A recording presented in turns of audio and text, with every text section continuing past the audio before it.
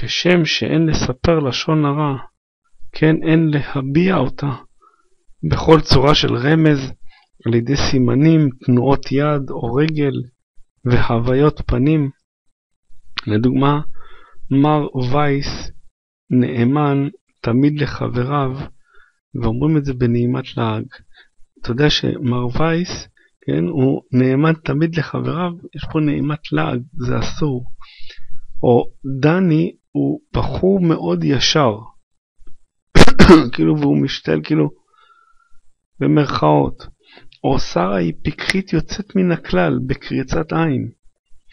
למרות שאינך חושב, הרי לא אמרתי דבר גנות אודותיו, אין זה משנה את העובדה שבכל זאת הבעת בדרך כלשהי ידיעה מבזה ופוגעת. ברוך אדוני לעולם, אמן ואמן.